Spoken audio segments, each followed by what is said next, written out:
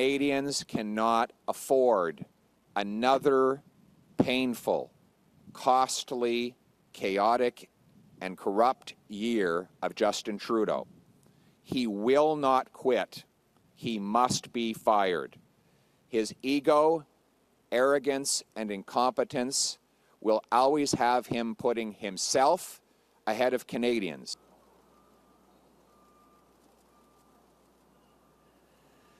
Welcome back, everybody. Uh, happy end of summer. But really, what's there to be happy about after Justin Trudeau's recent cabinet retreat? What changed? Remember at the beginning of the summer, after the people of St. Paul's voted against Justin Trudeau's proposed 61 cent a litre carbon tax, voted against him doubling housing costs and driving 2 million people to the food bank, voted against the crime and chaos he has caused. All the PMO staffers called you in the media and said there would be heads rolling, that they would fire ministers. They called the Globe and Mail and said incompetent and discredited Chrystia Freeland would lose her job to Mark Carney, or at least to someone who knew how to work a calculator. And then that there would be other changes. Maybe even the prime minister would step aside to make way and to try and bury the disastrous NDP Liberal record and put a fresh coat of paint on the broken down Liberal car. Well, what did we learn at this expensive Liberal retreat in Halifax? We learned that nothing will change. That Chrystia Freeland, who's been Canada's worst ever finance minister, helping to double our national debt and drive inflation to its worst in four decades, will stay in her job. Sean Fraser, who destroyed what was the best immigration system in the world, will stay in his job. The crazy carbon tax minister, Steven Guilbeault, who wants to ban trucks, roads, and plastic straws while liberals legalize crack and heroin, he's going to keep his job as well. The disastrous justice minister, who's helped give, give Canada a 50% increase in violent crime and a 120% increase in gun crime, he will keep his job. But most important of all, Justin Trudeau, the man who is not worth the cost, announced that he will too will keep his job. Canadians cannot afford another painful, costly, chaotic, and corrupt year of Justin Trudeau. He will not quit. He must be fired. His ego, arrogance, and incompetence will always have him putting himself ahead of Canadians. He would rather allow he would Justin Trudeau would rather force an entire generation to go without homes, 2 million people to go to food banks, 25% of kids to go to school hungry, that he would rather that continue to be the case than to give up power. He will not quit. He must be fired. And the person to do it is Jagmeet Singh. Singh sold out workers to sign on to this costly coalition. He has voted to hike the carbon tax to 61 cents a litre, for, for policies to double housing costs, and to tax food. Now, why did he do it? He told us that if he became part of the government, he'd bring down food prices. That was one of his promises. Did he succeed? Well, you don't actually have to ask me if he succeeded. Ask him. This is what he said about food prices last week. When you go into the grocery store and you're buying your groceries, you're spending more than ever before and you're leaving with less than ever before. Again, that is after two years of Jagmeet Singh joining the Liberal government. So what's clear is that Singh did not join to bring down grocery prices or housing costs, both of which have skyrocketed since he joined this coalition. He joined with to keep Trudeau in power so that he could get his pension. Jagmeet Singh is trying to delay the election until after February of next year so that he can qualify for a $2.2 million taxpayer funded pension. That's why Canadians are calling him Sell Out Singh. My message to Sell Out Singh is this put the people ahead of your pension. Break the costly coalition with Trudeau to trigger a carbon tax election where Canadians can choose between the costly coalition of the NDP Liberals that tax your food, punish your work, take your money, double your housing cost, and unleash crime and chaos in your community, or common sense conservatives who will axe the tax, build the homes, fix the budget, and stop the crime. Axe the tax, build the homes, fix the budget, stop the crime, to bring it home for our country. We'll bring home lower prices by getting rid of the carbon tax, which will not only lower the cost for farmers and truckers to bring us food or for Canadians to heat their homes or gas their cars, but will unleash $25 billion more of GDP every single year, according to Finance Department publications from this Liberal government. We'll enact a bring it home tax cut to make our taxes simpler, lower, and fairer the goal is to bring home more powerful paychecks and production to this country. We'll get rid of the government gatekeepers to allow us to produce our clean Canadian natural gas, our vital minerals, our oil, our forestry products, and to bring home production to this country. We'll get rid of the gatekeepers by allowing our immigrant, our brilliant immigrants, to take a Blue Seal exam and get working in their professions so we have more doctors and nurses. We will get rid of the government gatekeepers to build the homes. We will require local municipalities uh, speed up permits, free up land, and cut development taxes as a condition of getting federal funds to build 15% more homes per year. We'll sell off 6,000 federal buildings and thousands of acres of federal land to build, build, build, build. We'll cut taxes on home building. We'll back the trades because we need the boots and not suits in order to build those homes.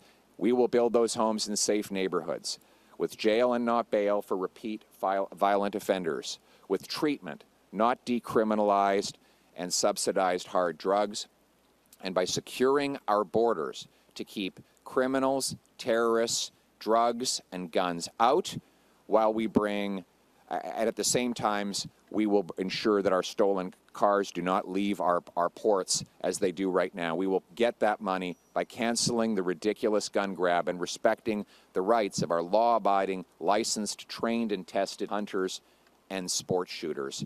We will also secure our borders to make sure that never again do accused ISIS terrorists get into our country and become citizens of Canada, even after the existence of a video apparently showing that same terrorist mutilating a human body on a crucifix during the ISIS war uh, of uh, over a decade ago.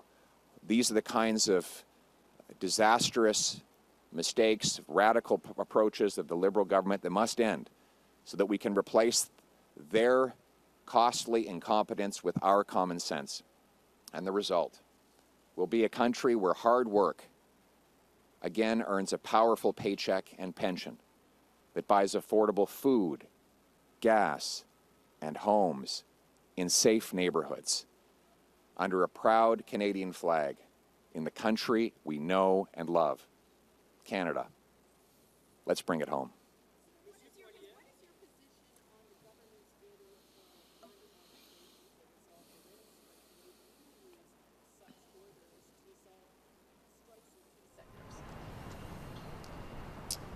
Well, I wouldn't have had to do that in this case. The reason that we have these strikes is because of inflation. We had last year the largest number of days lost to strike since 1986. What do we have in 1986? Inflation. Inflation leads to strikes because workers and unions have to fight to get back what they lost in purchasing power. Well, how did the inflation happen? The government doubled the debt. Justin Trudeau printed $700 billion of cash. We incre- he increased the money supply by 40%, while the real economy grew by 4%. When you add money 10 times faster than you add the stuff that money buys, then you get inflation.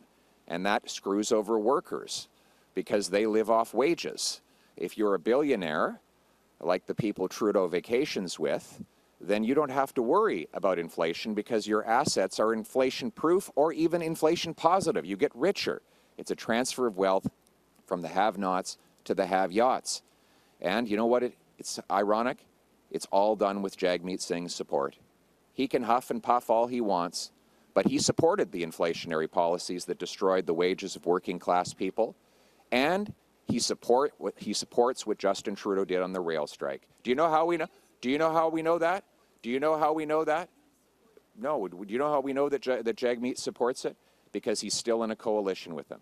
And if Jagmeet didn't support it, he would respond to my letter this afternoon and say he's pulling out of the costly coalition and he's going to vote to bring down Trudeau and cause a carbon tax election. And that's what I'm calling for him to do today. Jagmeet Singh, stop selling out the workers. Stop being sellout Singh.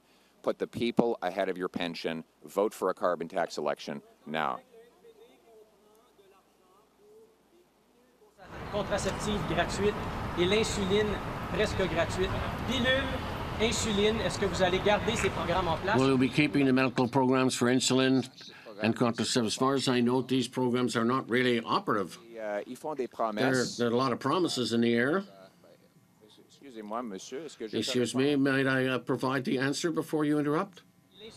Vous allez voir Yes. mon, la plateforme électorale. You'll see our election platform that I'll be uh, uh, tabling as soon as elections are called. But for now, all we have from them are promises, promises, libéraux, promises from the Liberals, uh, the Bloc, and the New Democrats. Ils dépensent plus. That if they spend more money today, cadeau pour tout le monde. there'll be Ils ont déjà promis, ils ont gifts for everybody. They already promised. Non, non, je vous permets pas de me interrompre. No, uh, please do not interrupt. I will finish off my answer if you don't mind. Thank you. Ça n'existe pas encore. There is no program operating right now. Combien de personnes, combien de personnes ont reçu How many people have received any of this insulin? Garder oui ou Combien? non? Garder oui ou non? Are you going to keep the programs? Yes or no? You keep the programs? Yes or no? How many people are already benefiting from it? How many? Oui ou non? How many? How many? pouvez pas répondre. Vous voulez You pas don't want to répondre non answer. parce You que- don't want to answer either. répondre? Je ne Oui peux ou pas non? répondre que si vous m'interrompez. Yeah, you keep interrupting me. Hard to answer. Oui, que vous avez posé une You have fausse said that question you're answering a false question. pour laquelle vous And the l'avez reason avoué, for which c'est you had admitted that it's a false question is because when I asked you how many people have already been covered by the program, parce que monde, Vous pouvez pas répondre. you parce can't que la answer réponse est because the answer is probably none. Je vais, ju- je vais juste I finish off here. Compléter ma, ma phrase. On ne peut pas garder quelque chose qui n'existe You pas. can't uh, pas réponse, keep something that doesn't yet exist. There's my answer. Thank you. Québécois des Canadiens qui sont préoccupés par la nature, par la Quebecers and. Canadians are concerned. How many, how many permanent sur le caribou, How Monsieur many Poilievre. permanent residents do you want to see accepted into Canada next year? First of all, we have to acknowledge that Justin Trudeau has destroyed our immigration system.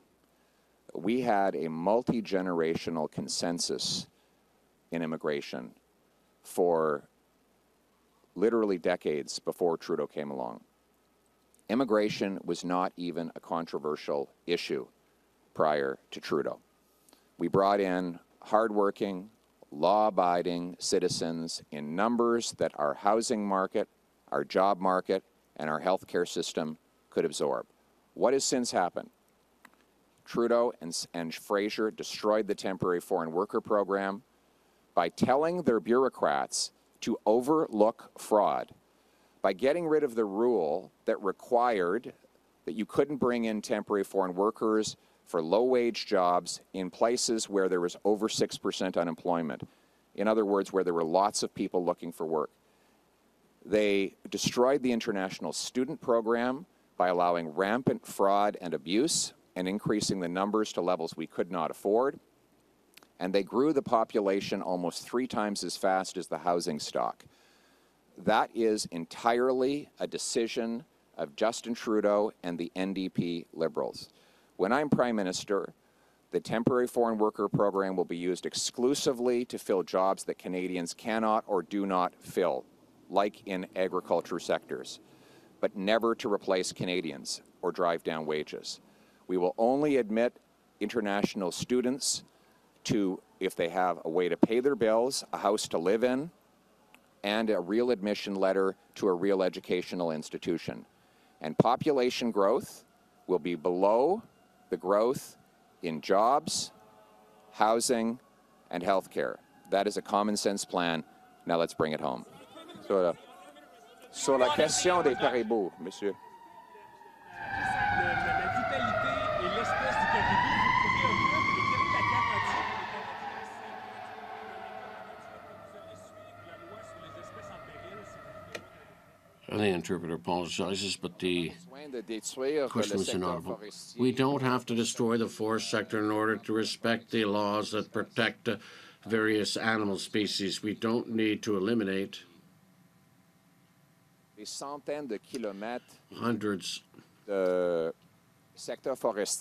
square kilometers of forest simplement a sector 5000 sim- to protect some 5,000 caribou. I'd like to remind you that our forestry sector, brings in des arbres qui existent dans nos less than 1% of the trees in our forests every year. This leaves the other 99% 99% of the trees pour la nature et for nature, and I'd add that the forestry sector plants two trees for every tree that it cuts down. Well, certainly, protéger, oui, les We want to protect animal species and jobs, both.